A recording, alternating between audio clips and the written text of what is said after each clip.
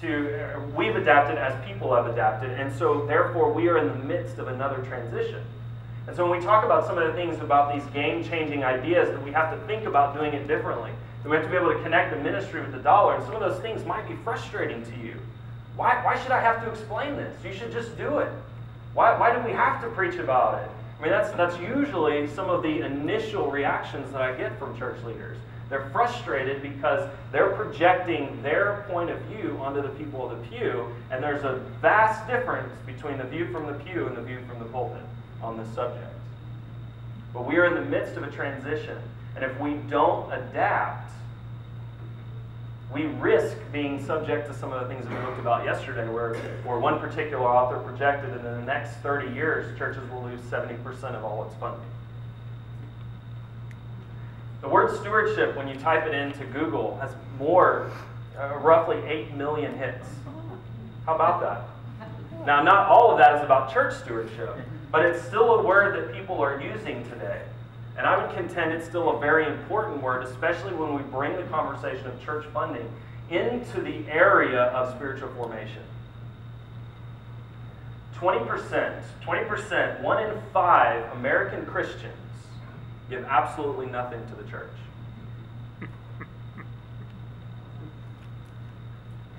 Passing the Plate is a great book. Uh, I believe it's Oxford University Press that, that, uh, that put this out. But they, they did a whole study about American Christians' orientation toward giving. And, and there's, there's two emerging myths that they, they discovered. You have the Horatio Alger myth that has made America what it is, right? Pull yourself up by your own bootstraps. You are the success, the sum total of the success that you create for yourself. It's a very healthy thing. That's what's made us great as a country. And then you have this other myth that we hear about within, with, within, the, within our spiritual, spiritual places of worship, where we hear that God says, No, everything you have is mine. And, and, and you need to give a portion of that back. Do you see how those two myths come from two completely point of views and create a dissonance that people have not been able to resolve? If everything is mine and the success is determined by my own effort, how can then I assimilate the fact that I have to somehow am now obligated to give back to someone who wasn't part of that success? Right? Those are two competing myths that we have to reconcile for people. And so, in the midst of that, they coined a phrase that I really love that the typical American Christian's posture toward giving is a discretionary obligation.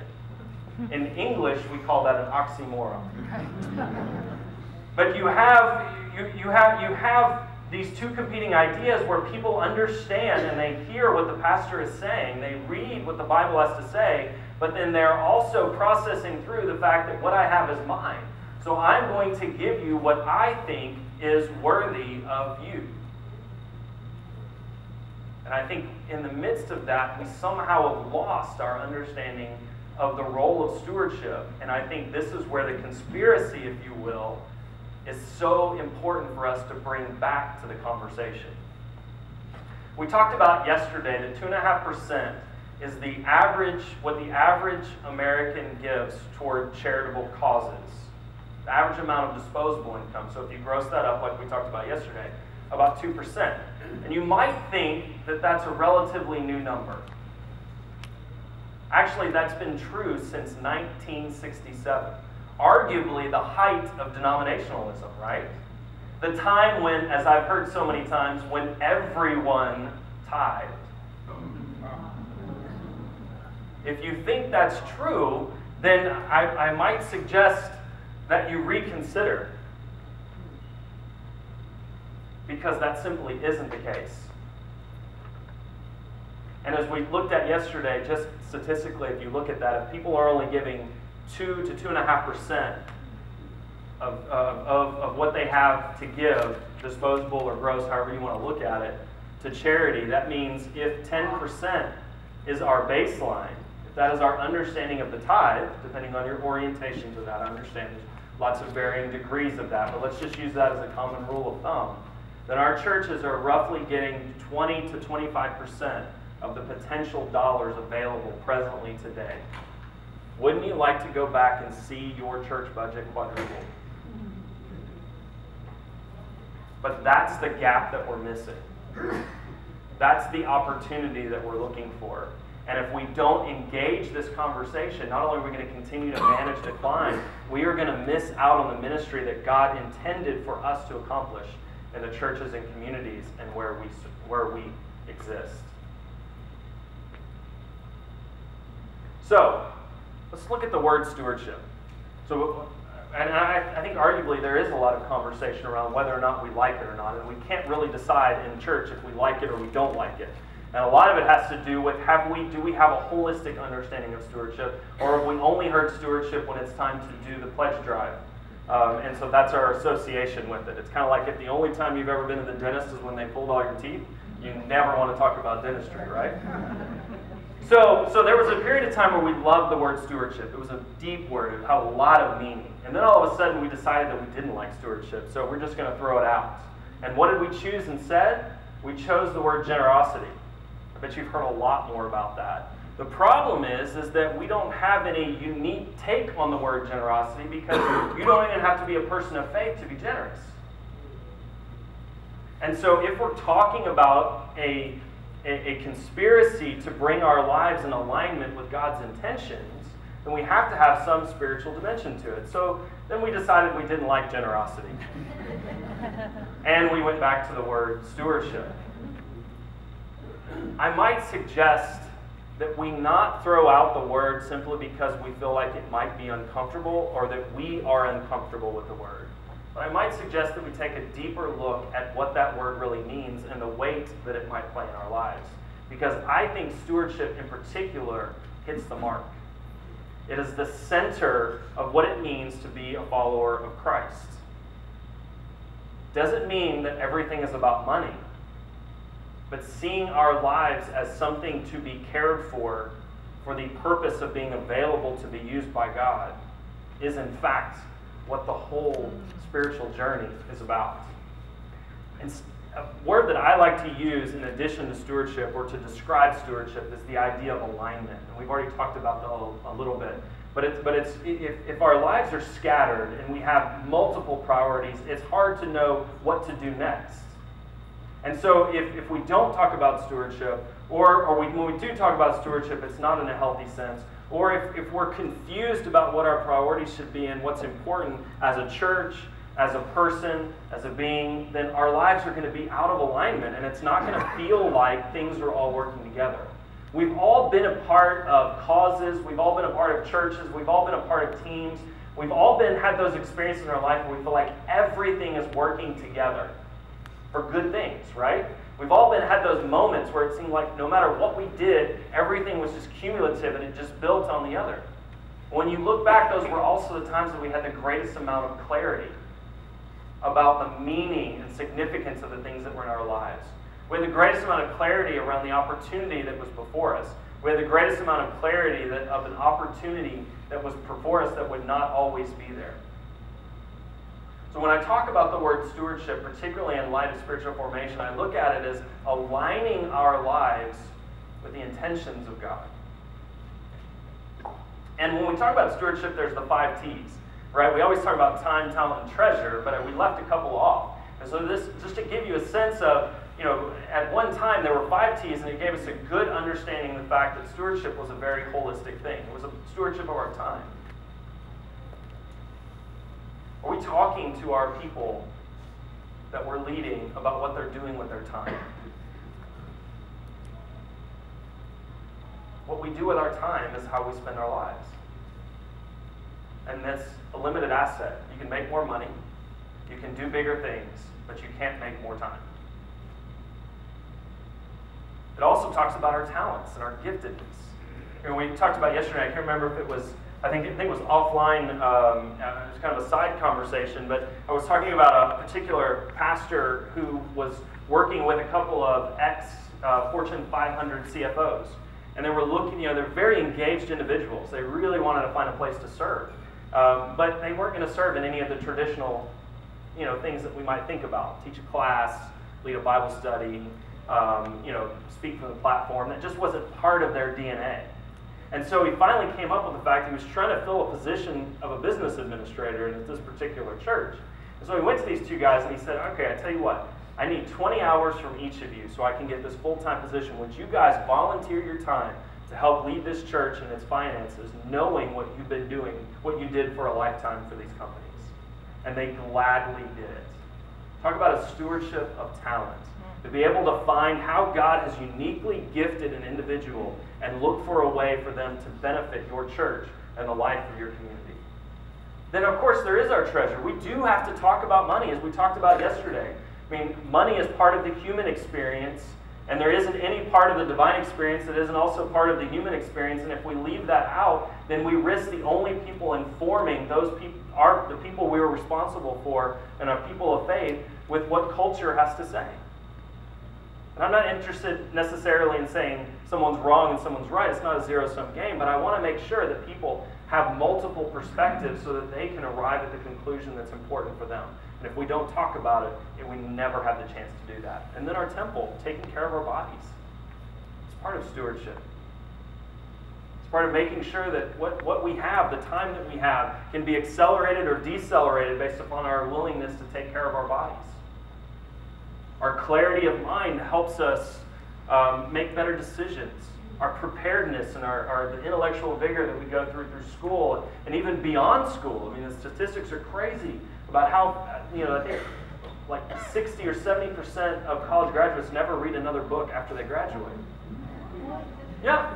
So the, the ability to uh, the uh, the ability to take care of our minds and make us prepared, it's all part of stewardship. See where we're driving at? We, we have relegated, we, we've, we've stripped stewardship of its depth, and we've relegated it to a conversation and an obligation that we have to have because we want to pay the light bill. And yet, it's an opportunity for us to help people align their life with God's intention. And it really comes back to our understanding of the Lordship of Christ. Right? We're talking about those two competing realities.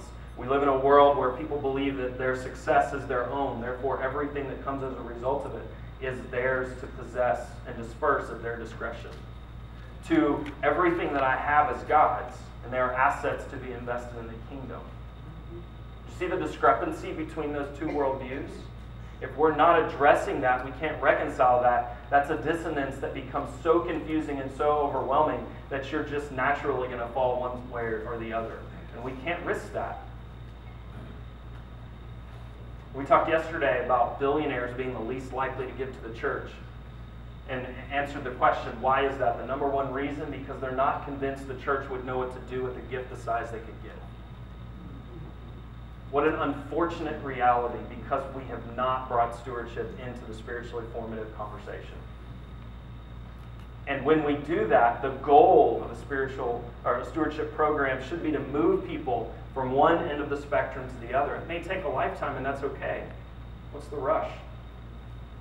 But if we're not adequately providing people the steps to, to take that next step and to be challenged in the next way, there are people in your church that need to have a healthy understanding of money. They didn't see it at home growing up, they haven't had it in their lives, and they may need some financial counseling in order to be able to, to reorient their lives. There are people that have discretionary income and have no consistent habits of giving to your church. They need to be challenged to give and why that's important and how together they can be part of change in your community and around the world. There are people who have been giving consistently and they've been giving the same for decades. They've never been challenged to go beyond that. I've never met anyone who's gone beyond their present reality without someone interjecting a challenge to take them where they need to go next. I mean, that's why we have coaches, right? So you've seen the wrestling team out here. These coaches know more about what those kids can do than they do right now. And they will do things that they never thought was possible because the coach challenged them to go somewhere that they didn't think was practical. You are the coaches for the people in your church. And there are some people that need to be challenged to live in a generous way. We talked yesterday about a surgeon and his wife who decided at one point in their life that to, to live off 10% or 15% of their income for the remainder of their life. Think about what that frees up in dollars and time and, and, and the, the legacy that leaves behind That's an understanding. They did that. They did that because they were challenged, of course, but they did that because they had an understanding, a complete understanding of the Lordship of Christ. The fact that everything that we have, our time, our talent, our treasure, our temple, and our testimony, are assets to be invested in the kingdom. The reason why we don't like to deal with stewardship is because it's measurable. But you can't manage what you don't measure. That's right. I, I always tell people that that uh, you know that I can tell the spiritual vitality of a church based upon the giving habits. Are they growing or is it declining? Is there are, are there are there consistently more and more people giving, consistently more and more? That shows it's an outward sign. It's not the only sign, but it's an outward sign that we can look at and point to as, as, as, a, as an indicator of health. You know, we measure everything in life. We measure grades, we measure scores in sports, we measure, uh, we do performance reviews in business, we measure our retirement plans, we measure our insurance. But somehow, when we come to church, arguably the most important thing that we do, given the fact that it has eternal implications, we resist measuring anything. You can't grow until you know where you are and create that baseline to be able to work against that. Stewardship is also uncomfortable, especially when you talk about a spiritually formative process because it holds us accountable, right? You can't you can't argue out the idea that you either gave or you didn't give. It is what it is, and we have to talk about it. It holds us accountable to being true to who God calls us to be. Again, money is an outward sign, it's a practical reality, but, but it goes through a holistic process. Are we in alignment with where God wants us to be right now? And is every person in your congregation in alignment with where God wants them to be about money and other issues? The other thing I really like about stewardship is the fact that it's systematic, it's process driven. And process helps people take the next step. And if you continue, continue to help people take the next step, they will grow. And spiritual formation is all about growth, right? Stewardship is also about freedom. Freedom to do some things that I think are very, very important. Freedom from control. Do you know why God wants us to, to, to practice the Lordship of Christ? Do you know why God wants us to give back 10%? is to remind ourselves that we are not the determiners of our own destiny. That there's a larger purpose, that we are playing a role in a much larger production than we can ever imagine. And that keeps us true. That keeps us coming back to the fact that every time we have to surrender part of what we've been given our time, our talent, our treasure, our temple, and our testimony and preserve that as sacred. It gives us freedom to invest, not just financially, but our time. It gives us, it gives us freedom to invest in people, in projects, in our community. You know, it, it, it's heartbreaking sometimes to work with some churches and, and you, you look at their giving and you start asking some questions and you realize that if that church ceased to exist, the community wouldn't even know it was there in the first place. That's not good stewardship.